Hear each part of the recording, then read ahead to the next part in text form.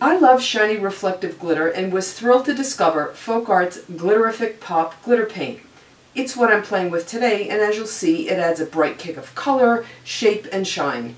It's useful with your favorite stencils, it works great with creative cuts, and it can be applied freeform.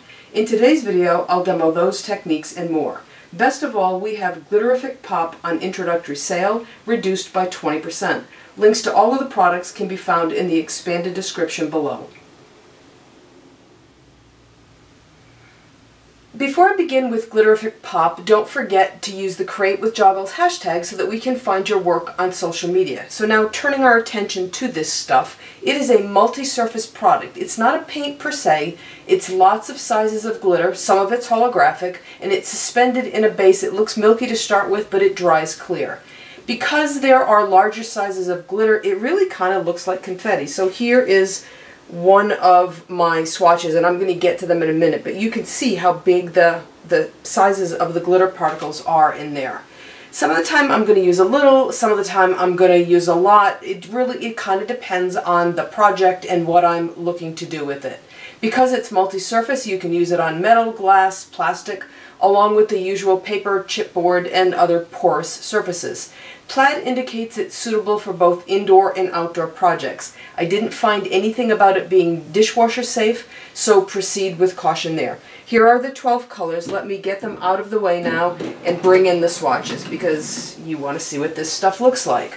So there are 12 colors currently in the line and I swatched them on both watercolor and black smooth and sturdy so that you can see what this stuff looks like on both. So here we have Beach Vibe, Vibe. Then we have Birthday Party. Up next is Black Ice. And then one of my favorites, this is Dragon Scales. It's a pretty green with some turquoise in it. Then we have Galaxy, which is also fun because it's multicolors of purple with a little bit of blue mixed in. Alright, we have Golden Treasure next, which is just what it sounds like. It's lots of different sizes with uh, of, of basically gold glitter. Princess, Princess Pink, and my black one seems to have flown the... Oh, here it is. Somehow it got out of order. Sorry, and it's Princess Potion, not Princess Pink.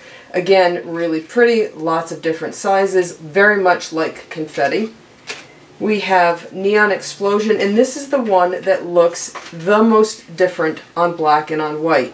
On the white, the watercolor, you can see some pink in there, but there's very little pink showing once it gets on black. So with this one, you're going to get a different look depending on what the surface color is. Up next, we have Silver Lining, and then we have Snowfall. Well, if I wasn't all thumbs, this one is, again, it's kind of different. Not, well, maybe close to as dramatic as the Neon Explosion, but Snowfall also is going to look very different on black and on white. Now we have Sunset Canyon. So this is a little more amber than the gold, and it's got some flecks of other colors in there.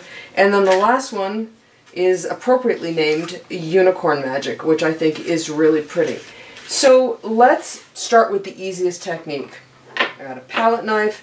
I'm going to grab. This is the one that's dragon scales and I have a surface. So I've got, this is a 5 by 5 um, wet cement disc bound journal page. This is oxide sprays. So the thing to keep in mind when you are putting this stuff on a surface that's going to re-wet, you're going to see a little bit of change. Not a lot. If you really agitate it is when you would see a lot. But I'm not going to do that and you're probably not going to either. So here's the deal. It looks milky when you take it out and it's going to be milky until it dries, but you just go ahead and you scrape this on. Now you can scrape this on thick, you can scrape this on thin. Obviously the thicker you apply it, the longer it's going to take to dry. Now I moved this around and I didn't really agitate that purple color from the oxide spray that's underneath. But you can see the color start to darken a little bit. That doesn't bother me. I think it just kind of adds a little bit of interest. So again, this one is pretty full up with a lot of color and a lot of sparkle on it. That appeals to me. Alright, so now, remember, you know what, let's leave this out and let's grab the, here we go, right? Nope, that's not the one I'm looking for. So this is Galaxy. And this is the dragon scales. If I were to take regular pigment paint, which obviously this is not, there's no pigment in this, and mix purple and green, I would get a pretty significant shade of mud because purple and green are on opposite sides of the color wheel. That is not the case here because as you can see, what comes out, the base is clear, and what comes out and what you see is the glitter pieces. Now obviously the glitter is a solid thing that you're not ever going to mix with another. It simply is a piece of plastic that's been cut up. So I have green and I have blue, uh, purple with a little bit of blue, and now I can put them together. And I have purple and green glitter together now, but I don't have any mud making because it's super easy to do because again, this is not pigment paint that's being mixed. So I can apply this just like this. And once this dries, I'll have all this pretty color on here. And I got a combination, purple and green. Complementary colors pop. They really are a nice offset for one another. So I've got all of that going on here, and once it dries, that's going to look pretty cool. Now, the next technique is kind of the thing you would think of next when you're working with something like this and you have a palette knife in your hand. Let me grab another piece of paper towel. So this is great to put through a stencil. Let me show you some of my samples. So this is one where all I did was just scrape the color on. Super easy. This is all dry now and I've got, this is a busy background, but you can see the flakes of glitter in there. Uh, this is another piece where all I did was randomly scrape some on. This is one of our new creative cuts. It's named Dots and Diamonds. This was one I kind of rubbed to pick up the paint, and then I just, if I hold this up so it reflects, I scrapped, scraped rather, some of that Princess Potion on there in here, and ultimately I'm going to probably put this on here like this, and you can see that when this stuff dries, not only is the the pieces of glitter, not only are they shiny, the material, the liquid that they're floating in, dries shiny too. So that's a really fun effect. So when we talk about stencils, here's a piece that I did, and it's a little hard to see because, again, this is kind of a busy background, but when you see it, you realize that these are circles. Well, they're circles because I used our Bubble Blast stencil, and that you get this patterning, which is so cool. This is from our creative cut that's named Change of Heart. So here is the creative cut. You can see that I used some painter's tape and I masked off that area and then I just put the three hearts on there. Really easy to do. I can simply take this off now. And yes, I didn't get all of the confetti, uh, the, sorry, the glitterific pop on here, but if I wanted to add more, I simply can do that. So when it comes time, and again, oh, you know what, here's a better example. So this was done with that bubble blast stencil. And here you can really see the shapes a little bit more because the background is not so busy that it's taking away. Alright, so coming back to what I wanted to do next, which is rather than work with a stencil, I'm going to work with one of our creative cuts. And I did this with the ones that's named stones. So you can see these are varying sizes and they're not perfectly round, they look like stones. Alright, so I'm going to, let's grab a couple of colors here. Let's pick up, where are we? Let's pick up, this is Beach Vibe, and let's mix it, uh, let's do a little bit with the Unicorn Magic, because again, I've got these colors kind of going on. This is just a page, this has um, Cosmic Shimmer Pixie Powder on it, if I'm remembering correctly. This is our creative cut that's named Moon Pie. Now when you're working like this, in someplace here, so this is the one that I used when I did the boulders, or the stones rather, and you can see I have all of the color on here, this becomes a beginning layer and I can start to deconstruct this either now or when more stuff gets added on. Okay, so again, Moon Pie, I have two colors. I have Unicorn Magic and Beach Vibe. Now I'm not going to tape this down. I'm just going to kind of wing this because, you know, that's what I do. Alright, I'm not doing anything fancy here. I just want to get some pattern on. And I'm probably not going to do the entire um, surface here because otherwise I think it just gets to be a little bit too much. Well, that was straight and now we've got dribbles going on. That's alright. We'll make it work. Oops. So now what I want to do, I want this kind of come down diagonally and now what I want to do is go ahead and transition to the Beach Vibe color. Again, I'm just going to scoop some out and I'm going to start overlapping and blending a little bit, and then I'm just going to bring it down. So super easy to do. Now the thing to keep in mind is that this stuff is permanent when it's dry. So here I've got some color on here. And again, you can see how milky that is to start with, but that will be clear once it dries. So coming back to thinking about what happens when you work with a stencil, because this stuff is multi-surface, it will adhere, excuse me, it will adhere to that plastic. And so you want to have a bin of water to one side, something big enough to fit your stencil in, or you want to wipe it down immediately once you're through doing this. Now obviously with a creative cut, it's to my benefit that this stuff stays on here and it adds texture and pattern on there and some shine. With a stencil, I don't necessarily want to do that. So like I said, you want to clean that stuff off, get it in a tub of water, wet it, do something with it so that it doesn't end up permanent on your stencil because it'll be very pretty to look, look at, but it's probably not going to be super functional. So the other thing, again, when we talk about this being multi-surface, these are some of Finnabair's mechanicals. And you can see, if I could pick this up, you can see that there's all kinds of sparkly stuff going on here. And this is, and I forget what this is named, but this is another one of these leaves. They come in a package of, I think there's six or seven seven of them in there. Because this has got a little bit of red on it, I'm going to pick up the Princess Potion and I'm going to put some of this on because it'll it'll kind of work with that red. So I'm just going to dab it on here and let it do its thing and ultimately this will dry. The base will be clear and you won't see it and then I'll have all that pretty sparkly stuff on there and again you can see the sample here that's got it. Next I'm going to pull out a gel press plate and I'm going to play with Glitterific Pop and some colors of paint and show you how you can kind of blend this stuff in and you can get confetti look in your paint, which I think is actually pretty interesting.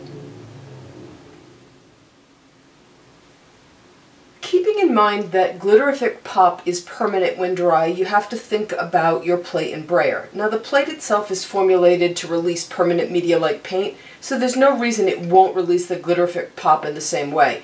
The brayer is a little bit of a different story. Now obviously Paint accumulates on brayers and there are ways to clean them, some of them more effective than others. You can see that there's a little bit of the glitterific pop on here from the last print I was playing with.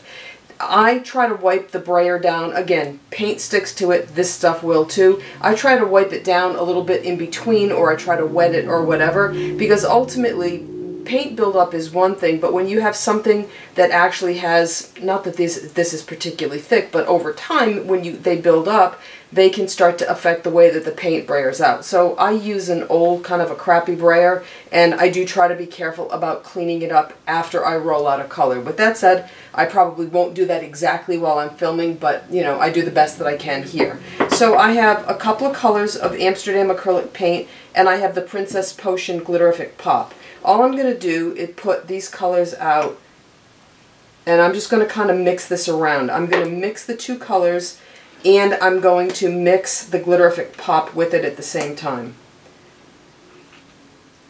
Alright, that's probably enough. I don't need a ton of paint on here. So let's go ahead and put some of this out.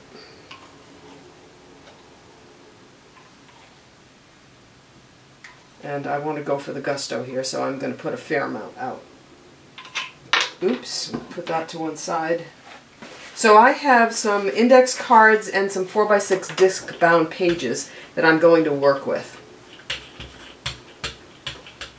Some of them have already been printed on, some of them have not, so that's pretty cool for a roll-off sheet, right? I mean, it works. It's a really interesting process here, and it's really cool stuff.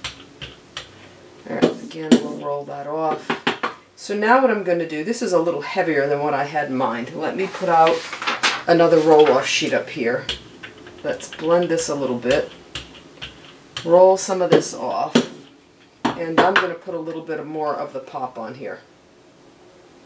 Now bear in mind that what's against the plate is what you see on the paper. That's the side of this that you'll see, but I think that this is going to work just fine. So again, I'm going to go ahead and blend this out. Alright, good enough. Let's print. So this is a postcard left over from the postcards video. I'm going to stick that there. I've got a gray here. And I've got a couple of tags. So these are number five tags. I kind of fill this in so I don't waste what I've already put on there. I know I have more tags here if I could just find them, but I can't. So we'll just do this. Take another piece of paper, well, two pieces of paper actually, and go ahead and press these down. Now there might be some left on here. We'll have to kind of see what that looks like once I pull this stuff off. Oh, how pretty is that? Those are really nice colors. Ooh, you see the glitter on there. You see the pattern that the paint created. There is nothing not to like about that.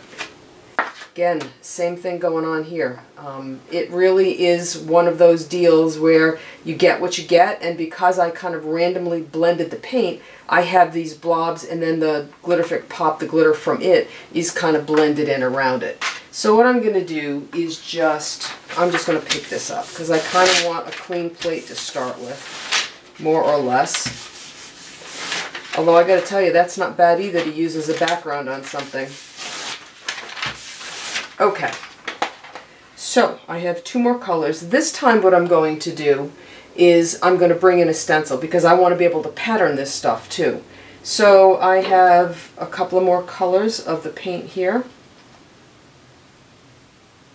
Hmm, that's got a little bit of grunge on it. Let's wipe that off. Just a little bit of dried paint around the tip. I'm in a pink mood today. Bring in some of this kind of pale color. So what I'm going to do this time is I'm going to use the Glitterific Pop that's named Neon Explosion. And I want this to stay as more of an ombre. And so to do that, I'm going to put some of the Glitterific Pop out next to each of these colors and then I'm going to roll them separately, which will keep my ombre. And that'll make more sense once I actually do it. Okay, I might as well start on this side. So again, I'm going to brayer this color out. I can blend it a little bit. Now, I don't have to get perfect coverage, and, you know, I'm really not too worried about that. I like the effect more than anything else, and I'm happy with the way that this is turning out because it's not meant to look like every other thing that I do. I mean, that would be boring. That's kind of not where I'm going here.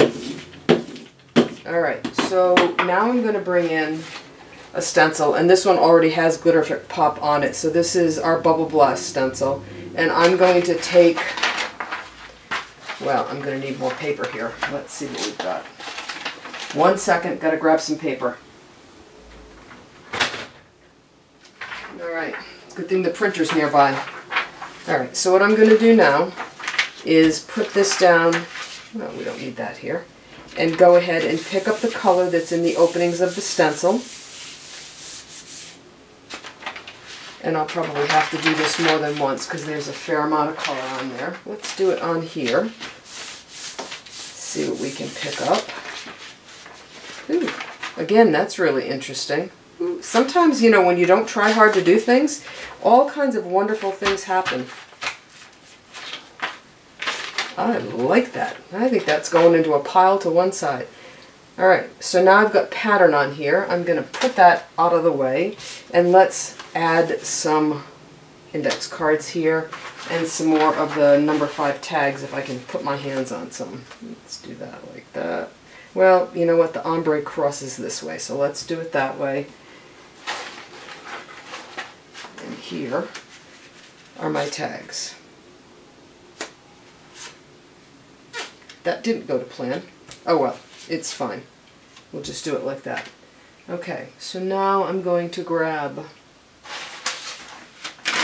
these and go ahead and print what's on here. Now I didn't, but you certainly can. I did not brayer the Glitterific Pop on. But again, you can see, I mean, these are my roll-off sheets. You can see how awesome that is, and brayering it mixed with paint certainly works. Oh, isn't that pretty? I like that neon explosion, especially with these two colors of paint. So I got less here, although it did pick up some of what was left on the plate previously. Oh, that's pretty. I like that. Again, we picked up some of what was left on the plate, and then let's see what these two tags look like. Oh, very, oh, that one is really cool. I like that a lot. So this is a process. You can mix them the way that I did in the beginning. You can kind of roll them out and keep your colors separate. And you know what, quite frankly, let's try this and see what happens. So, I'm just going to put some Glitterific Pop on the plate. I'm going to use, what do we got here? This is Unicorn Magic. I'm going to use it. And all I'm going to do is put some out and roll and see what happens. Because I haven't, I'm only going to do it on half the plate because I don't have a lot of stuff here left to work with. Don't need that. Now this will probably, I don't know if it would act like gel medium to completely pick up what's here, but I put enough out that I can actually cover the whole plate. So, with that said, let's try it and see what happens, because you never know till you try. Alright, so that's kind of cool. Let's put that down. Again, here's one that I was playing with. This is cool like this. Let's do this like this. And then I can get a couple of tags in here. So I'll only get part of this one, but that's alright. Nothing says the whole thing has to be done. And then we'll just go ahead and do that. And then we'll stick that in there. Alright, so now I'm going to get some paper again and go ahead and press this. Now these are all of our surfaces, whether it's craft, it's wet cement, or it's watercolor. And the nice thing about this is that it can sit on this plate long enough to actually pick up. This paper is not going to shred when I go to pick it up. Now whether or not it really picks up or it just actually prints the, this is the Unicorn Magic, remains to be seen. Okay, so I got a little bit of both. You can see there's definitely Unicorn Magic on there, but it also did pick up some of the underlying color that's left. And a little bit here too, although obviously this postcard had stuff on it, or that index card rather had stuff on it already. A little bit of color, lots of glitter, there's nothing not to like. Again, same thing here. And then we've got that little bit going on here.